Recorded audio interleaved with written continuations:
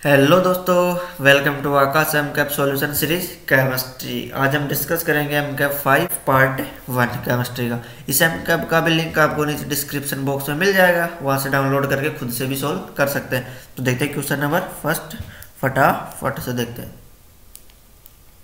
Which of the following is या are Dobereiner's triad किन में से कौन से डोबेराइनर के त्रिक डोबेराइनर ने तीन त्रिक दिए थे। अपने कौन कौन से? सबसे पहला लिथियम सोडियम और पोटेशियम, उसके बाद में क्लोरीन, ब्रोमीन और आयोडीन और एक और दिया था, कैल्शियम स्टेंशियम और बेरियम। ये तीन ट्रिक दिए थे उसने कहा था कि इनमें जो साइड वाले एटम होते हैं, उनके एटॉमिक वेट का जो एवरेज होता है, वो बीच वाला एटॉमिक वेट के इक्वल होता है। कैसे जैसे लिथियम का यहाँ पे हो गया सिक्स सोडियम सॉरी पोटेशियम का कितना होता है? थर्टी नाइन बाई टू यानी कि ये कितना आ रहा है लगभग ट्वेंटी टू पॉइंट फाइव और इसका कितना लेते हैं अपन? ट्वेंटी थ्री यानी कि इसके इक्वल आ रहा है यहाँ पे। तो इसने कहा था कि जो साइड वाले एटम है, उनकी इलेक्ट्रॉनिक वेट का एवरेज बीच वाले एटम का इलेक्ट्रॉनिक वेट होगा। तो इसने ये ज़्यादा के लिए वैलिड नहीं हो सका, केवल इसने तीन एग्ज़ाम्पल बताए थे। तो यहाँ पे कौन कौन सा एक तो ये करेक्ट हो रहा है यहाँ पे, और डी वाला करेक्ट हो रहा है। तो सेकंड ऑप्शन अपना करेक्ट हो गया। अब देखते हैं question number two element with electronic configuration N S one or no S N S one कौन से होता है? यानी कि उसमें लास्ट इलेक्ट्रॉन किसमें आ रहा है? एस में। तो एस में कौन से में आता है सबसे पहले? ग्रुप फ़र्स्ट और ग्रुप सेकंड, जिन्हें बोलते हैं एल्केलाइन मेटल और एल्केलाइन अर्थ मेटल बोलते हैं उन्हें। यानी कि इसमें एन एस वन होता है और उसमें एन एस टू होता है। तो एल्केलाइन मेटल यहाँ पे सेकंड ऑप्शन करेक्ट हो गया अपना। अब देखने question number three the correct order of ionic radii of the following species इन अपने को आयनिक रेडियाई का क्रम देखना है इन स्पीसीज में। कि पीरियड में आवर्त सारणी के पीरियड में लेफ़्ट टू राइट जाने पे क्या हो रहा है? साइज़ डिक्रीज करता है और ऊपर से नीचे अप टू डाउन आने पे साइज़ क्या हो रहा है? इंक्रीज करता है। और आइसो इलेक्ट्रॉनिक एटम में क्या होता है? जितना ज़्यादा नेगेटिव चार्ज उतना ज़्यादा उसका साइज़ ये किसके लिए होता है? ओनली आइसो इलेक्ट्रॉन के लिए वैलिड होता है यहाँ पे। तो यहाँ पे आइसो इलेक्ट्रॉन कौन से हो गए?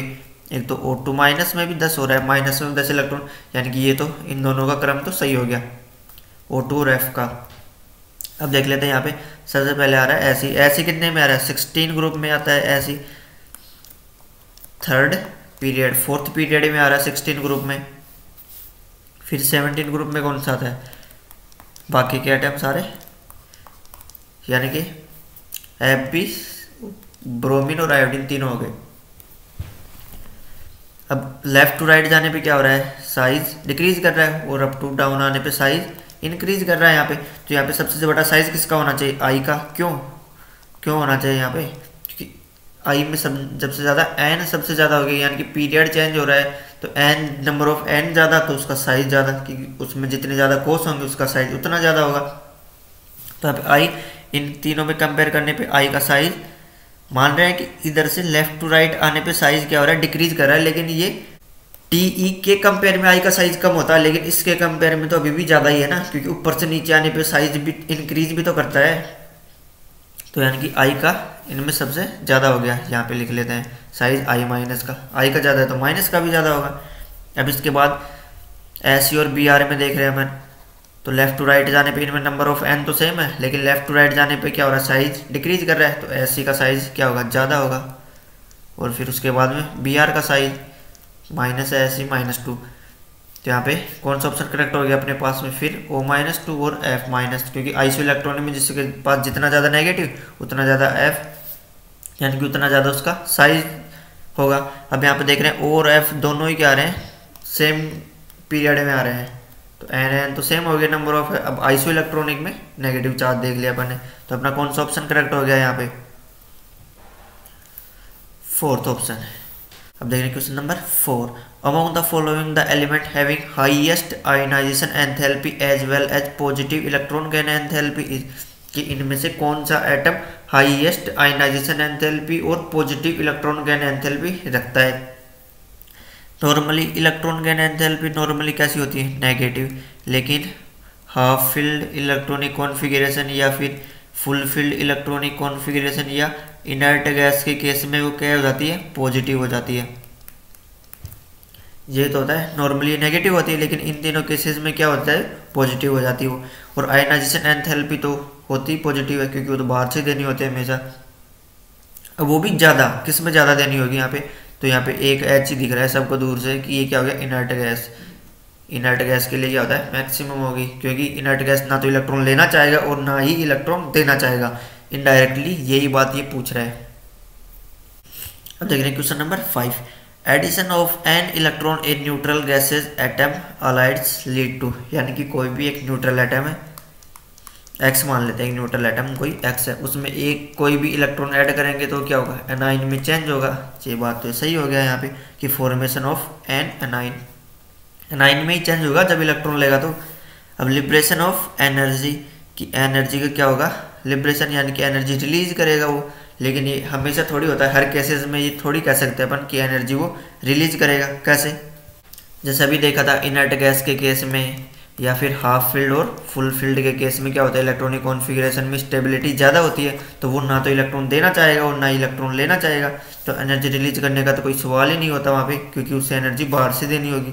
तो ये हमेशा के लिए, हमेशा कहने पर गलत हो गया। नॉर्मली ठीक था ये। Decrease in proton and electron ratio.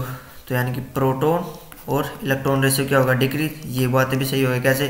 कि नंबर ऑफ़ प्रोटोन कितने होते हैं? जेड कि यहाँ पे पहले तो इसके पास जेड तो अभी भी जेड ही है, क्योंकि प्रोटोन का तो कोई एक्सचेंज नहीं हो रहा। पहले भी जेड थे और अभी भी जेड है, और पहले इसके पास इलेक्ट्रॉन ई थे, मान रहे अपन। लेकिन बाद में जब ये इलेक्ट्रॉन इसने ले लिया तो जेड तो सेम ही रहना है, और बाद में ई प्लस वन तो यानी कि ये क्या हो रहा है? रेशियो क्या होगा डिक्रीज होगा इनक्रीज डिक्रीज हो रहा है क्योंकि ज़्यादा से डिवाइड करेंगे तो कम आता है। तो ये बात भी इसने सही कह दी। तो कौन सा ऑप्शन करेक्ट हो गया अपने पास में? फ़र्स्ट और थ्री तो थर्ड ऑप्शन करेक्ट हो गया। अब देख रहे हैं question number six predict correct statement कि अपने को करेक्ट स्टेटमेंट का यहाँ पे चुनाव करना है। कि electron affinity E A positive is greater than zero greater than zero का मतलब पॉजिटिव है वो। Implies that electron attachment is exothermic सही बात होगी जैसे यहाँ पे कोई एटम है, ये उसका न्यूक्लियस मान लिया, ये उसका लास्ट वाला सेल हो गया। अब इलेक्ट्रॉन एफिनिटी पॉजिटिव का मतलब वो इलेक्ट्रॉन को ऐड करना चाह रहा है, यानी कि उसके पास इलेक्ट्रॉन की कमी है पहले से, या फिर वो अपनी स्टेबिलिटी बढ़ाने के लिए इलेक्ट्रॉन को क्या करना चाहता है, खुद ही ऐड करना चाहता है। और इलेक्ट्रॉन को ऐड करेगा तो क्या होगा? बॉन्ड फॉर्मेशन होगा। बॉन्ड फॉर्मेशन होता है कैसा? एक्जोथर्मिक प्रोसेस होता है, क्योंकि एनर्जी क्या होती है? रिलीज़ होती है। तो ये बात सही होगी ये वैसे भी समझ सकते हैं अपन कि इलेक्ट्रॉन एफिनिटी होती है ई e ए और इलेक्ट्रॉन गेन एंथैल्पी होती है, कि इलेक्ट्रॉन जोड़ने पे कितनी एंथैल्पी रिलीज़ करता है। उन दोनों में रिलेशन कैसा होता है? नेगेटिव का। कि जब उसके इलेक्ट्रॉन एफिनिटी पॉजिटिव यानी कि जब उसकी इच्छा होगी इलेक्ट्रॉन ऐड करने की तो वो एनर्जी जल्दी रिलीज़ कर देगा तो यानी कि एनर्जी का लॉस होता है। लेकिन जब उसकी इच्छा ही नहीं हो रही एनर्जी इलेक्ट्रॉन एफिनिटी यानी कि वो इलेक्ट्रॉन को ऐड ही नहीं करना चाह रहा तो वो अपने को बाहर से एनर्जी देनी होगी तो वो पॉजिटिव हो जाती है।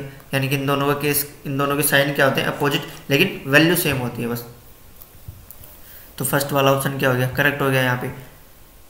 Second electron gain enthalpy of O minus ion is negative O minus ion की इलेक्ट्रॉन गेन एंथैल्पी अब देखो ओ माइनस इसने एक इलेक्ट्रॉन तो पहले से ही ऐड कर लिया।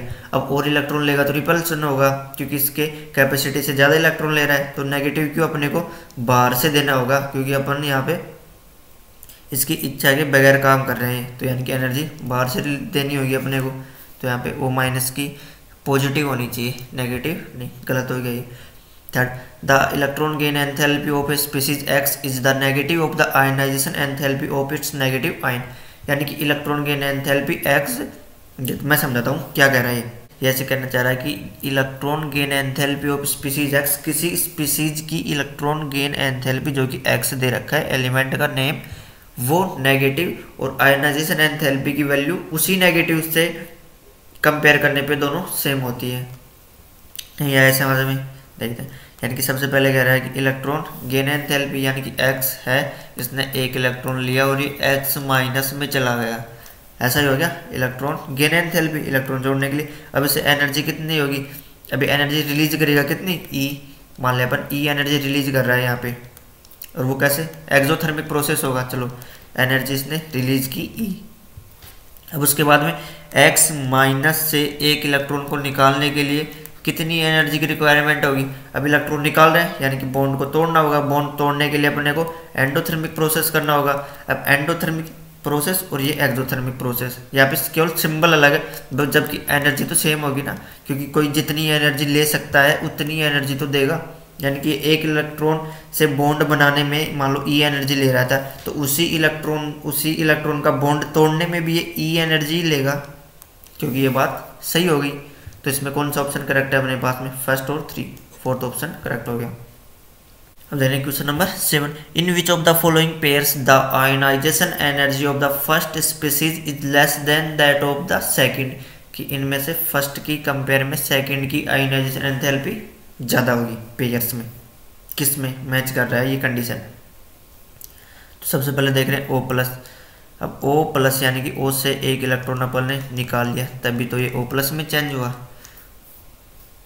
अब इससे एक इलेक्ट्रॉन और निकालना को क्योंकि आयनाइजेशन एंथैल्पी तो यही कहती है ना लास्ट सेल से एक इलेक्ट्रॉन निकालने के लिए, यानी कि ओ प्लस से एक इलेक्ट्रॉन और निकालना अपने को तो ये क्या हो जाएगा? ओ प्लस टू में चेंज हो जाएगा। अब देख रहे हैं यहाँ पे। इस, खुद से सोच रहे हैं कि इस, यहाँ पे इलेक्ट्रॉन निकालना आसान होगा या यहाँ पे इलेक्ट्रॉन निकालना आसान होगा? अब यहाँ पे तो एक इलेक्ट्रॉन चलो दे दिया इसने। अब एक इलेक्ट्रॉन तो इसने पहले दे दिया और एक इलेक्ट्रॉन और आगे मांगने तो ये कैसे दे सकता है? क्योंकि इसके पास और भी कम होंगे इलेक्ट्रॉन तो ओ प्लस यानी कि अपने को बहुत ज़्यादा एफर्ट लगाने होंगे इससे इलेक्ट्रॉन निकालने के लिए, यानी कि एनर्जी ज़्यादा रिक्वायरमेंट होगी एनर्जी ज़्यादा होगी तो उस, क्या बोलते हैं उस एनर्जी को? आयनाइजेशन एंथैल्पी ज़्यादा होगी यानी कि ओ प्लस की एंथैल्पी ओ के कंपेयर में ज़्यादा होगी, जो कि दिख रहा है हमें अब सल्फ़र और पोटेशियम देख लेते हैं। तो सबसे पहले सल्फ़र आता है सिक्सटीन नंबर पर इसका इलेक्ट्रॉनिक कॉन्फ़िगरेशन क्या होगा? One s two two s two two p six three s two और थ्री पी फोर ये इसका इलेक्ट्रॉनिक कॉन्फ़िगरेशन हो गया। अब फॉस्फोरस का देख लेते हैं। फॉस्फोरस कितना है फिफ्टीन तो यानी कि यहाँ तक तो ठीक रहेगा वो, और बस थ्री पी में थ्री हो जाएगा। फिफ्टीन हो गए। अब ज़्यादा किसका होगा? अब हम देख रहे हैं यहाँ पे हाफ़ फ़ील्ड हो गया और फुल फ़ील्ड की स्टेबिलिटी ज़्यादा होती है। तो हाफ़ फ़ील्ड क्या हो गया? पी में तीन इलेक्ट्रॉन है यहाँ पे, और यहाँ पे पी में चार इलेक्ट्रॉन है। ये क्या हो गया? नॉर्मल फ़ील्ड और ये क्या हो गया? हाफ़ फ़ील्ड तो इसकी स्टेबिलिटी ज़्यादा तो इससे इलेक्ट्रॉन निकालना मुश्किल होगा। एस के कंपेयर में। तो ये वाला पी की ज़्यादा होगी अपने पास में आयन एंथैल्पी अब देख रहे हैं नाइट्रोजन और फॉस्फोरस में। अब यहाँ पे नाइट्रोजन का इलेक्ट्रॉनिक कॉन्फ़िगरेशन लिख लेते हैं। One s two two s two और टू पी थ्री अब कहोगे कि यहाँ पे फॉस्फोरस और नाइट्रोजन दोनों को देखना है। अब दोनों में क्या आ रहा है? पी थ्री यानी कि दोनों में क्या है? हाफ़ फ़ील्ड अब हाफ़ फ़ील्ड तो दोनों में हो गया। तो ये इलेक्ट्रॉनिक कॉन्फ़िगरेशन वाला तो फंडा नहीं लगेगा यहाँ पे। तो क्या लगाएँगे यहाँ पे? देखेंगे कि इलेक्ट्रॉन न्यूक्लियस के जितना ज़्यादा नज़दीक होगा, उस पर उतना ज़्यादा अट्रैक्टिव फोर्स लग रहा होगा। तो यहाँ पे टू एस में ये सॉरी टू पी में ज़्यादा नज़दीक होगा थ्री पी में ज़्यादा नज़दीक होगा? सिंपल सी बात है टू पी में ज़्यादा नज़दीक होगा, क्योंकि ये वाला पी वाला सबसेल मान रहे हैं तो ये वाला थ्री वाला, यानी कि सेकेंड और थ्री यानी कि सेकेंड में यहाँ पे होगा और थ्री में यहाँ पे। तो ज़्यादा अट्रैक्टिव फोर्स सेकेंड पे लग रहा होगा। अट्रैक्टिव फोर्स ज़्यादा लग रहा होगा तो स्टेबिलिटी ज़्यादा होगी और इलेक्ट्रॉन निकालना उतना ही मुश्किल होगा। यानी कि नाइट्रोजन की स्टेबिलिटी ज़्यादा होगी तो आयनाइजेशन एंथैल्पी भी ज़्यादा होगी। बी ई प्लस और बी में, वही, वो वाला कंडीशन होगी क्योंकि एक इलेक्ट्रॉन और निकालना चाह रहे हैं, एक तो पहले निकाल चुके तो ये बी प्लस की ज़्यादा होगी। तो यहाँ पे कौन सा ऑप्शन करेक्ट हो गया अपने पास में? Second option question number eight the number of element that can be accommodated in the present setup the long form the periodic table की पीरियडिक टेबल में कितने नंबर ऑफ़ एलिमेंट आ सकते हैं? मैक्सिमम अब तक की आए हुए हैं। तो हम जानते हैं पीरियडिक टेबल में क्या होता है? सात तो क्या हो रहे हैं? पीरियड और एटीन क्या होता है? ग्रुप और इनमें maximum numbers of electron atoms कितने आ रहे हैं? वन वन एटीन इतने आते हैं पीरियोडिक टेबल में तो सेकंड ऑप्शन करेक्ट हो गया। अब देखते हैं question number nine which of the following statement is false कि इनमें से कौन सा स्टेटमेंट इनकरेक्ट यानी कि फॉल्स है? तो no inert gas present in seventh period कि सेवंथ पीरियड में कोई इनवर्ट इनर्ट गैस नहीं होती, सही बात है, क्योंकि फ़र्स्ट पीरियड से स्टार्ट होती हैं और सिक्स पीरियड पे आगे खत्म हो जाती हैं। First second third fourth fifth six seventh में जा ही नहीं पाती है अभी तक तो ये सही हो गया फॉल्स नहीं हुआ। Third period contents 18 element third period में 18 एलिमेंट्स आते हैं। कैसे? देखते हैं फ़र्स्ट वाले में टू एट एट और थर्टी टू तो यानी कि ये फ़र्स्ट वाले में, ये सेकंड में, ये थर्ड में। अब थर्ड में कितने आ रहे हैं? आठ। आठ ही एट ही एलिमेंट आ रहे हैं। किसमें? पीरियड की बात हो रही है ग्रुप की नहीं। कि थर्ड पीरियड में कितने आ रहे हैं? एट एलिमेंट तो कौन सा हो गया यहाँ पे? गलत बात होगी नहीं। एटीन बता रहा है यहाँ पे। ऑप्शन थ्री देखते हैं। Third group of the periodic table accommodated maximum number of element अब यहाँ पे ग्रुप की बात हो रही है पीरियड की नहीं तो कहीं देखेंगे यहाँ पे पीरियड की बात, यानी कि गलत थर्टी टू आ रहे हैं यहाँ पे पीरियड में तो सिक्स पीरियड में, लेकिन ये पीरियड है ग्रुप नहीं। Third period of periodic table accommodated maximum number of element सही हो गया कैसे? क्योंकि यहाँ पे थर्ड पीरियड में थर्ड ग्रुप में क्या आ जाते हैं? लेंथेनोइड और एक्टेनोइड एलिमेंट भी थर्ड ग्रुप में आते हैं वो तो यहाँ पे सही बात होगी in p block metals non metals and metalloids are present कि पी ब्लॉक में धातु, अधातु और उपधातु तीनों पाए जाते हैं, जो कि अवध सारणी का एकमात्र ब्लॉक हो गया, जिसमें तीनों चीज़ें पाई जाती हैं मेटल नॉन मेटल और मेटेलॉइड्स तो सही बात होगी यहाँ पे। तो कौन सा ऑप्शन करेक्ट हो गया यहाँ पे? अपने को फॉल्स स्टेटमेंट देखना था तो सेकेंड वाला सही हो गया। अब देखते हैं question number ten correct order of ionisation enthalpy is यहाँ पे आयनाइजेशन एंथैल्पी का सही क्रम का चुनाव करना है अपने को। तो सबसे पहले आयनाइजेशन एंथैल्पी क्या होती है? इनडायरेक्टली प्रोपोर्शनल होती है किसके? साइज़ की। जिसका जितना ज़्यादा साइज़ होगा, उसमें से इलेक्ट्रॉन निकालना उतना ही आसान होगा। या फिर जिसका जितना छोटा साइज़ होगा, उसमें से इलेक्ट्रॉन निकालना उतना ही मुश्किल काम होगा, क्योंकि वो इलेक्ट्रॉन अट्रैक्टिव फोर्स ज़्यादा लग रहा होगा तो एफर्ट भी ज़्यादा लगाने होंगे। तो सबसे पहले क्या करें? यहाँ पे सबसे साइज़ देख लेते हैं। इन सब में बेरिलियम बोरोन कार्बन नाइट्रोजन और ऑक्सीजन में सबसे ज़्यादा साइज़ किसका, सबसे कम साइज़ किसका हो गया यहाँ पे? नाइट्रोजन 15 ग्रुप में आ रहा है और ऑक्सीजन 16 ग्रुप में आ रहा है। यानी कि इन दोनों का साइज़ क्या हो रहा है? ऑक्सीजन का साइज़ सबसे कम आ रहा है क्योंकि लेफ़्ट टू राइट जाने पे क्या हो रहा है? साइज़ डिक्रीज करता है। तो यहाँ पे ऑक्सीजन का होना चाहिए, लेकिन क्या हो गया? अब यहाँ पे एक वो भी फंडा होता है इलेक्ट्रॉनिक कॉन्फ़िगरेशन वाला, वो भी देखना होगा यहाँ पे। यहाँ पे क्या होता है? टू पी थ्री और यहाँ पे होता है two p four last shell में पी थ्री और यहाँ पे पी फोर क्या हो गया? हाफ़ फ़ील्ड हो गया ना इलेक्ट्रॉनिक कॉन्फ़िगरेशन और हाफ़ फ़ील्ड के लिए क्या हो गया? इसकी स्टेबिलिटी ज़्यादा तो इलेक्ट्रॉन निकालना मुश्किल काम हो गया। तो यानी कि यहाँ पे क्या हो गया? एन की नाइट्रोजन की ज़्यादा हो गई किससे? ऑक्सीजन से। क्या ज़्यादा हो गई? आइनाइजेशन एंथैल्पी नाइट्रोजन की ऑक्सीजन के कंपेयर में ज़्यादा होगी अब फिर बात करते हैं, इस, इन दोनों से छोटा साइज़ किसका होता है? बोरोन का। बोरोन कितने में आ रहा है? थर्टीन में। और कार्बन कितने में आ रहा है? फोर्टीन में। अब इनमें देखें तो छोटा साइज़ किसका हो गया? कार्बन का। तो फिर उसके बाद में नाइट्रोजन ऑक्सीजन और उसके बाद में कार्बन का आ गया। सही बात हो गई यहाँ तक। फिर उसके बाद देखिए बेरेलियम और बोरोन में कम साइज़ किसका है? बेरेलियम और बोरोन में, क्योंकि बोरोन का कम साइज़ हो गया, क्योंकि लेफ़्ट टू राइट जाने पे क्या हो रहा है? साइज़ डिक्रीज कर रहा है। लेकिन यहाँ पे क्या हो गया? ये क्या होता है? One s two two s two और बोरोन क्या होता है? One s two two s two two p one अब यहाँ पे टू एस टू क्या हो गया? फुल फ़ील्ड और फुल फ़ील्ड या हाफ़ फ़ील्ड की स्टेबिलिटी नॉर्मल फ़ील्ड के कंपेयर में ज़्यादा होती है। यहाँ पे साइज़ तो कम है, लेकिन यहाँ पे इसकी स्टेबिलिटी भी तो ज़्यादा है, क्योंकि ये फुल फ़ील्ड हो गया इलेक्ट्रॉन देना ही नहीं चाहेगा तो यहाँ पे बी ज़्यादा हो गया। तो कॉज यानी कि सबसे ज़्यादा किसकी? नाइट्रोजन की। फिर उसके बाद में ऑक्सीजन की, फिर कार्बन की, फिर बेरेलियम की और फिर बोरोन की। तो ऐसा कौन सा ऑप्शन यहाँ पे मैच कर रहा है? फोर्थ ऑप्शन करेक्ट हो गया अपना।